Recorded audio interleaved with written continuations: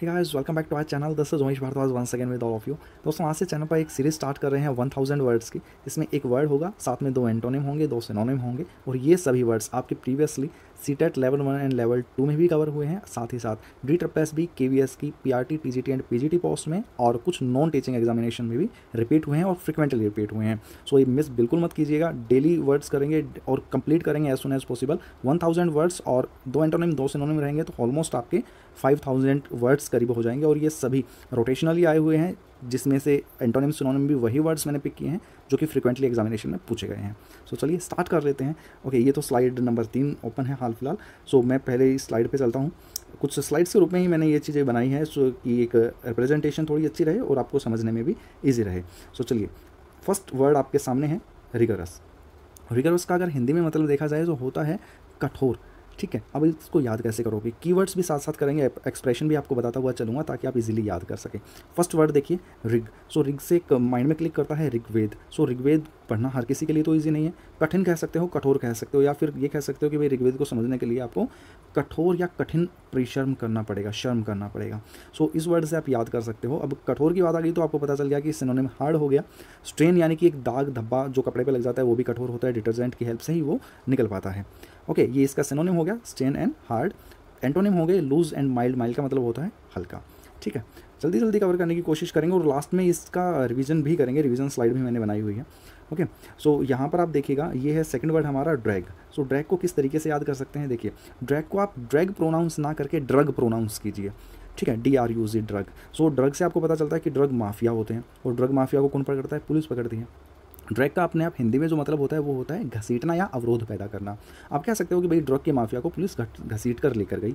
ठीक है? या फिर एक एग्जांपल और देता हूँ कि आप लैपटॉप या कंप्यूटर यूज़ करते होगे, कोई भी वहाँ पर वर्ड फ़ाइल आपने ओपन की होगी या विकीपीडिया आपने ओपन किया होगा, आप कोई भी पर्टिकुलर लाइन अगर सेलेक्ट करना चाहते हो सो आप क्या करते हो? लेफ़्ट क्लिक करते हो और एक कर्सर को ड्रैग करते हो मतलब घसीटते हो उंगली से उस लाइन के ऊपर और वो सिलेक्ट हो जाती है। ठीक है? सो वहाँ से भी आप याद कर सकते हो। सिनोनिम इसके हो गए बर्डन एंड पुल मतलब वही खींचना ड्रैग करना। एंटानिम देखा जाए सो रस एंड प्लेजर प्लेजर का मतलब वही कि भाई प्यार से ट्रीट करना अच्छे से रहना। ओके चलिए थर्ड वर्ड देखते हैं क्या है? ये है आपका डिसग्रेंटाइल सो डिसग्रेंटाइल का क्या मतलब होता है भाई? डिसग्रेंटाइल का हिंदी में अगर बात की जाए सो मतलब होता है दोस्तों असंतुष्ट होना। ठीक है अब इसको किस तरीके से याद करेंगे? इस डिस को हम देश प्रोनाउंस कर सकते हैं देश और ये ग्रंटाइल्ड ठीक है सो so, आप कह सकते हो ग्रांट यहाँ पर दिख रहा होगा आपको ग्रांट ठीक है, इसको ग्रांट प्रोनाउंस कीजिए। देश और देश का ग्रांट रोड इस तरीके से अगर आप इसको प्रोनाउंस करेंगे तो आपको समझ में आएगा कि भाई, देश का जो बहुत बड़ा रोड है ना, वही ख़राब है। ठीक है, ख़राब है तो लोग उससे क्या है? अनहैप्पी हैं, असंतुष्ट हैं कि भाई सरकार ने रोड अच्छे से नहीं बनाया। सो देश का रोड ख़राब है और लोग अनहैप्पी हैं डिससेटिस्फाई हैं गवर्नमेंट से। ये हो गए सिनोनिम तो इनका एंटोनिम क्या हो जाएगा? हैप्पी और प्लीज्ड कि सरकार के कर्तज्ञ हैं। प्लीज़ का मतलब कर्तज्ञ हो जाना या फिर जो भी आप समझ सकते हो। ठीक है चलिए नेक्स्ट वर्ड की तरफ़ चलते हैं। नेक्स्ट वर्ड क्या कहते हैं? नेक्स्ट वर्ड है हमारा सिंडाई ओके जो ओपन हो रखा था पहली स्लाइड में। सो so, सिंडाई का हिंदी का अगर मैं बात करूँ हिंदी में मतलब होता है सिंडाई का। ओके एक मिनट ये वर्ड ही छुप गया है। चलिए अब ठीक से दिखाई देगा। सिंडाई का हिंदी में मतलब होता है अनिश्चित काल के लिए। ठीक है अनिश्चित काल के लिए। सो so, आप क्या कह सकते हो कि इस साइन सिन को क्या प्रोनाउंस कर सकते हो? साइन प्रोनाउंस कर सकते हो। डाई को तो डाई कर ही सकते हो। अब साइन माने कि S I G N sign भी प्रोनाउंस कर सकते हो, जिसको आप सिग्नेचर कह सकते हो। ठीक है? आप कह सकते हो कि भाई किसी ने साइन किया और वो अनिश्चित काल के लिए डाई हो गया, मर गया। किसी भी तरीके से। सो अनिश्चित काल, यानी कि फोर एवर हमेशा के लिए। अनिश्चित काल जिसका कोई अंत ही ना हो मतलब एंडलेसली ठीक है? एंटोनिम क्या हो गया इसका? डेफिनेटली एक पर्टिकुलर टाइम के लिए वो डेफिनेट है। ओके चलिए। सो नेक्स्ट वर्ड देखते हैं। नेक्स्ट वर्ड है हमारा रेक्टिफाई रेक्टिफाई तो बहुत ईजी वर्ड है और कई सारे एग्जामिनेशंस में पूछा भी गया है। आई होप आपको पता भी होगा रेक्टिफाई का हिंदी में मतलब होता है सुधारना करेक्शन करना। ठीक है? इम्प्रूव करना। अब सिनोनिम आ गया आपके सामने। सो ये वर्ड आपको यूज़ करना याद करना पड़ेगा होन ठीक है? इसको आप रिएक्टर कह सकते हो। रिएक्टर कि भाई भारत जो परमाणु रिएक्टर्स होते हैं, उनको सुधारना पड़ेगा। अभी हमारे परमाणु रिएक्टर्स की हालत सही नहीं है। सो रेक्टिफाई मतलब सुधारना आप कह सकते हो। ओके सो सिनोनिम हो गया हमारा horn and improve and antonym हमारा हो गया डैमेज, कि मतलब सुधारने की बजाय ख़राब कर देना, डैमेज कर देना या फिर रून कर देना। आ, ये लिखा जो हुआ है R U I N ruin लिखा हुआ है यहाँ पर, ये, ठीक है? कि बहुत हालत खस्ता हो जाना रूइन का मतलब ये होता है, हालत खस्ता हो जाना। नेक्स्ट वर्ड अगर हम देखें तो नेक्स्ट वर्ड है एग्लोमेरेट ठीक है? इसका जो हिंदी में मतलब होता है, वो होता है कि भाई ढेर संग्रह कर लेना, कि मतलब होल्ड करना एक तरीके से। आपने देखा होगा कि गोडाउंस वगैरह में भर के रख लेते हैं लोग। पीछे देखा होगा कि भाई अगर प्याज के रेट बहुत बढ़ गए थे तो सरकार बोल रही थी कि जो डीलर्स हैं उन्होंने गोडाउन में भर के रखा हुआ है। ठीक है, उसने क्या किया हुआ है? अग्लोरमेट किया हुआ है, होल्ड किया हुआ है। ठीक है, अपने पास संग्रह किया हुआ है, ये उसका मतलब होता है। सो आप इसको रिलेट कर सकते हो, इसको एग बोल सकते हो E double G egg pronounce कर सकते हो कि भाई अंडों का अपने पास ढेर लगा रखा है। ठीक है सो सिनोनिम क्या हो गया आपके पास? एक्यूमिलिएट किया हुआ है या एक्योर किया हुआ है? मतलब अपने पास संरक्षित किया हुआ है, रखा हुआ है। एंटोनिम अगर देखा जाए तो क्या हो जाएगा कि भाई अपने पास संग्रह नहीं किया, उसने बाहर बेच दिया स्पेंड कर दिया। स्क्वेंडर ये वर्ड बहुत इंपॉर्टेंट है। स्क्वेंडर यानी कि वेस्ट कर दिया, खर्च कर दिया, ख़राब कर दिया एक तरीके से। ठीक है? ये इसका मतलब होता है। नेक्स्ट मूव करते हैं। आपको देखा, इसको एग से आपको रिलेट करना है, ध्यान रखिएगा। और नेक्स्ट वर्ड हमारे पास आता है नलीफाई ओके नल आपने सुना होगा। नल का मतलब होता है कि कुछ भी नहीं। या फिर आपने देखा होगा फॉर्म्स में नील आप लिख देते हो इसका मतलब कुछ भी नहीं होता है कि वहाँ पे चीज़ें ब्लैंक है। सो so, आपको कुछ भी नहीं होना मतलब किसी भी बात का कोई प्रभाव ना होना। नलीफाई कर देना मतलब प्रभावहीन कर देना। कुछ ऐसा कर देना कि वो रद्द हो जाए उसका आप पर कोई भी इफ़ेक्ट ना हो। सो so, आपको नल से ही इसको याद करना है। ठीक है? नली का इन्फेक्शन आप कह सकते हो कि भाई नली में इन्फेक्शन था और कोई और जो भी दवा हम ले रहे हैं वो प्रभावहीन हो रही है। ठीक है, वो ठीक नहीं हो रही है। इन्फेक्शन इतना ज़्यादा है कि वो नलीफाई कर दे रहा है, प्रभावहीन कर दे रहा है मेडिसिन का कोई भी असर नहीं हो रहा है। सनानिम की बात की जाए and risk and and cancel कि भाई प्रभाव हो ही नहीं रहा, प्रभाव को कैंसिल कर दे रहा है। दवा का जो असर होना चाहिए, वो नहीं हो रहा है। एंटोनिम की बात की जाए सेंसिटिफाई या वैलिडेट वैलिडेट मतलब आप वैलिडेट तो बहुत आता है एग्ज़ाम में। वैलिडेट का मतलब होता है ऑथेंटिक कर देना। कि कुछ इस तरीके से काम करना कि एकदम सही चीज़ें हों ऑथेंटिक चीज़ होनी चाहिए, सही चीज़ें हों। ठीक है? सो वो वैलिडेट कर देता है। नेक्स्ट वर्ड की तरफ़ आते हैं। नेक्स्ट वर्ड ये वर्ड बहुत आता है एग्ज़ाम में और इसका एंटोनिम भी मैं बताऊँगा। नेक्स्ट वर्ड वही हमने उठाया हुआ है। आप देखेंगे, बहुत अच्छी तरीके से आप याद कर सकते हो। ओवर्ट का मतलब होता है ओपन वे में काम करना, खुले रूप से काम करना, एकदम। ठीक है? सो ओपन और क्लियर कह सकते हो आप इसको। एंटोनिम अगर देखा जाए देन प्राइवेट या सीक्रेटली कह सकते हो। एक वर्ड और एंटोनिम में इसका आ जाता है covert C O V E R T covert इसके आगे सिर्फ़ सी लगा दिया जाता है। ठीक है? उसका मतलब क्या हो जाता है? गुप्त रूप से काम करना कवर करके काम करना। ठीक है? क्लेंडेस्टाइन जो आप बोलते थे हो वो चीज़ होती है। इसको याद कैसे करोगे कोवर्ट को? कोवर्ट को ओवर से याद करो ओवर आपने बोला कि ओवर रिएक्ट कोई कर रहा है। ओवर रिएक्ट करने का मतलब वो खुले रूप से बोल रहा है, खुले रूप से चिल्ला रहा है ओवर रिएक्ट कर रहा है। ठीक है? इस तरीके से याद कर सकते हो इसको, या फिर ओवर आप क्रिकेट से भी रिलेट कर सकते हो कि ओवर फेंकने का स्टाइल बिल्कुल एकदम खुला है। आपने देखा होगा कि मिलिंगा के ऊपर कुछ चीज़ें हुई थी ऐसी ऐसी तो उन्होंने बोला कि बिल्कुल खुले स्टाइल से बॉल फेंकता है, उनके स्टाइल को माना नहीं जाएगा। तो वो कहते हैं ना कि खुले रूप से ओवर फेंक रहा है, कुछ उस तरीके से। कोवर्ट की अगर बात की जाए, सो कोवर्ट का मैंने आपको अभी बताया, रिलेट करके, ओवर, ओवर्ट से ही, ये ओवर्ट का एंटोनिम है। सो कोवर्ट का मतलब क्या हो गया? गुप्त रूप से। सो कोवर्ट को कैसे करोगे? कवर। कवर मतलब आपने किसी चीज़ को कवर कर दिया, छुपा दिया, गुप्त कर दिया। ठीक है? उसको आपने सीक्रेट बना दिया। और ये वर्ड बहुत ज़्यादा इंपॉर्टेंट है क्लेंडस्टाइन ठीक है? ये याद कर लेना। क्लेंडस्टाइन का मतलब क्या होता है? कोवर्ट इसका एंटोनिम क्या होता है? ओवर्ट एंटोनिम क्या हो गया? ओपन या ओवर्ट नेक्स्ट वर्ड की तरफ़ जाते हैं। ठीक है? ये है पपेट अब पपेट का मतलब तो आपको पता होगा, लेकिन इसको किस तरीके से याद कर सकते हैं, किस तरीके से समझ सकते हैं, इसका एंटोनिम बनाना बहुत इंपॉर्टेंट है। ठीक है एंटोनिम देख लेते हैं पहले। एंटोनिम होता है पपेट का बींग मतलब अपने आप में कुछ होना या एंटिटी एक पहचान बना देना। पपेट का मतलब होता है कठपुतली या फिर गुड़िया, आप उसको बोल सकते हो। ठीक है, इसको कैसे याद करोगे? पपेट पापा का पेट। ठीक है, इस तरीके से याद कर सकते हो। पापा के पेट पे कठपुतली नाच रही है या फिर छोटी बच्ची को गुड़िया बोलते हो, गुड़िया पापा के पेट पर बैठ के खेल रही हो, छोटी बच्ची। सो आप उससे रिलेट कर सकते हैं। सो सिनोनिम क्या हो गया? डॉल हो गया या कोई टूल हो गया? ओके इसका एंटानिम इसका बहुत ज़रूरी है याद करना। ये याद रखना। ये भी किसी एग्ज़ाम में पूछा ही गया था यहाँ पे तभी इंक्लूड किया है मैंने। So next question next word है हमारा डिलेट सो so, इसको किस तरीके से याद कर सकते हैं? डिलेट का हिंदी में मतलब क्या होता है? डिलेट का हिंदी में मतलब होता है फैलना। ठीक है? स्प्रेड हो जाना फैल जाना। सो so, आप कह सकते हो डाइलेट डी आई और लेट को अलग कर सकते हो डाइलेट सो डाइले मतलब डाइलेट का क्या कह सकते हो? डाइल्यूट हो गया मतलब अगर आपने पानी में नमक मिलाया सो नमक फैल गया और पानी में घुल गया। डाइल्यूट हो गया एक तरीके से। ठीक है? या फिर जो डाई हमने, अगर इसको हम डी ई वाई वाली डाई बता दें, डाई को डी ई वाई जो बालों में लगाते हैं सो डाई हमने ले, लगाई और लगाकर हम लेट गए सो वो पूरे बालों में फैल जाती है। कुछ इस तरीके से रिलेट कर सकते हो, या फिर दिल या एट से तो कैसे रिलेट कर सकते हो, पता नहीं, वो आप कर लेना। सिनोनिम अगर देखा जाए सो डिस्टेंट कहा जा सकता है, या वाइडन मतलब फैल जाना कह सकते हैं। ये वर्ड आपके लिए इंपॉर्टेंट हो जाता है यहाँ पर ये याद किया जाए। एंटोनिम की बात की जाए सो कंस्ट्रक्ट हो जाता है या कॉन्ट्रैक्ट हो जाता है। कंस्ट्रिक्ट या फिर कॉन्ट्रैक्ट फेल कॉन्ट्रैक्ट मतलब सिकुड़ जाना ओके और ये चीज़ हो गई।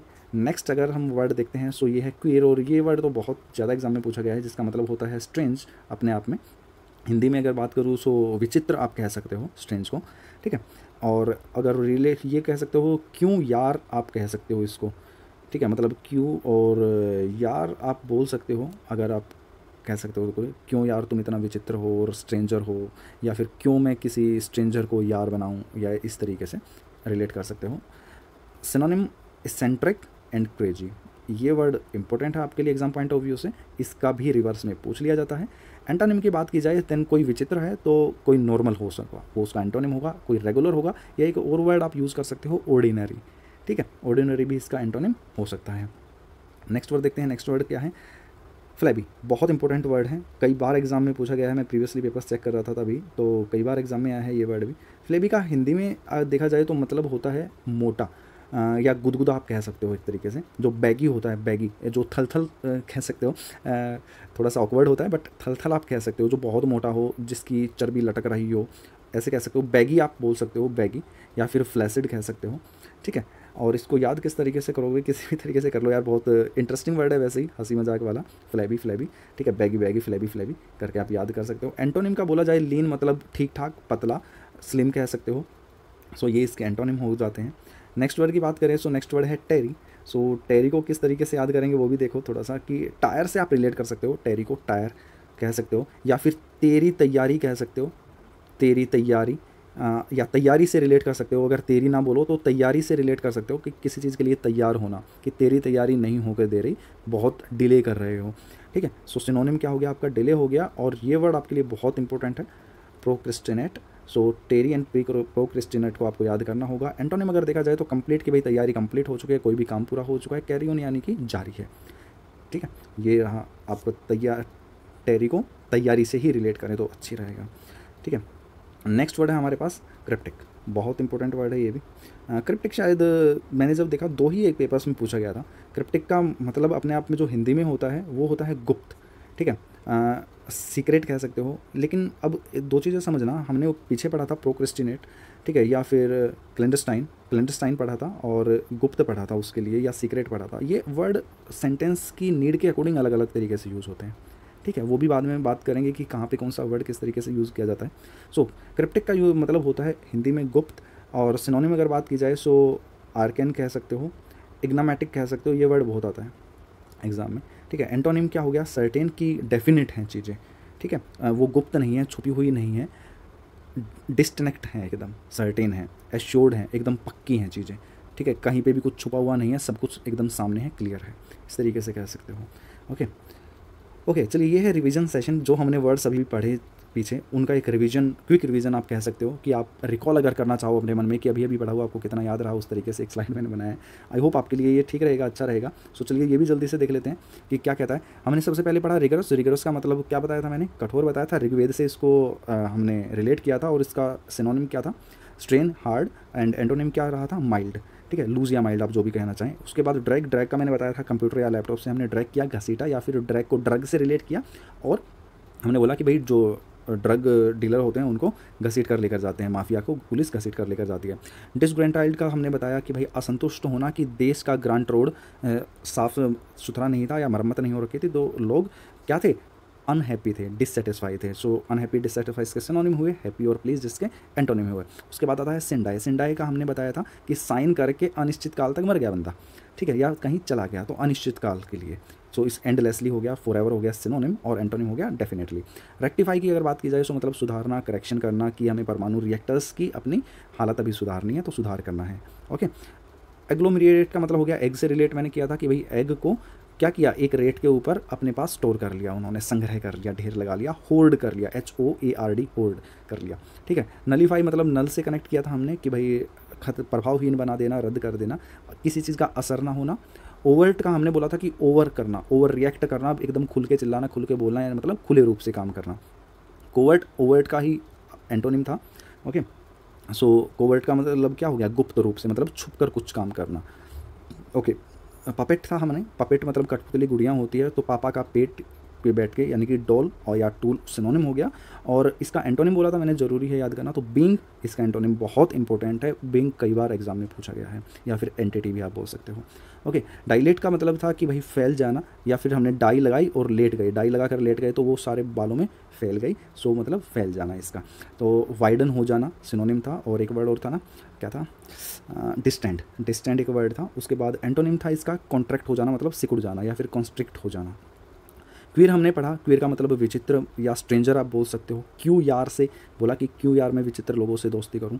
ऐसा कुछ करके आप याद कर सकते हो और सिनोनिम था इसका एसेंट्रिक एंड क्रेजी एंटोनिम था नॉर्मल रेगुलर और एक थर्ड वर्ड मैंने आपको बताया था।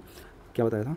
नॉर्मल रेगुलर एंड ध्यान नहीं ऑर्डिनरी यस ओके फ्लैबी था। फ्लैबी का हमने बताया कि भाई फ्लैबी करके आप बैगी करके आप यूज़ याद कर सकते हो। थल थल होता है, मोटा होता है इस तरीके से याद कर सकते हो। इसका एंटोनिम था लीन और स्लिम। टेरी का मैंने बताया था कि भाई तैयारी से रिलेट करना, कि भाई तैयारी में तुम डिले कर रहे हो। ओके सो इसका सिनोनिम क्या था? डिले करना या प्रोक्रेस्टिनेट करना। एंटोनिम क्या था? कंप्लीट हो जाना। या कंप्लीट कर देना या फिर कैरी ऑन ओके क्रिप्टिक का क्या था? क्रिप्टिक का हमने बताया था कि क्रिप्टिक गुप्त एक तरीके से, ठीक है? कि भाई गुप्त रूप से चीज़ें करना। ठीक है, या होना कुछ किसी चीज़ का। इसका जो सिनोनिम था वो था आर्कन या एनिगमेटिक और एंटोनिम की अगर बात की जाए तो चीज़ें सर्टेन हो जाना एश्योर्ड हो जाना कि हाँ भाई ये पक्के रूप से है ही है। आपके इन सभी वर्ड्स में से अभी हमने पीछे जो किए, अभी एकदम साथ ही साथ रिविज़न किया तो आपको कितने याद रहे कमेंट सेक्शन में ज़रूर बताना। नेक्स्ट सीरीज़ कल करेंगे एंड होपफुली इससे ज़्यादा क्वेश्चंस लेकर आएँगे। आई होप आपको पसंद आया हो। सो लाइक शेयर सब्सक्राइब ज़रूर कर दीजिएगा। तैयारी कंटिन्यू करेंगे एग्ज़ाम कभी भी आ सकते हैं। उस चीज़ के लिए जो भी इन्फॉर्मेशन रहेगी अपडेट रहेगी, आपको एज सुन एज पॉसिबल बताता रहूँगा। Thank you very much bye take care ख्याल रखिएगा, खुश रहेगा बाय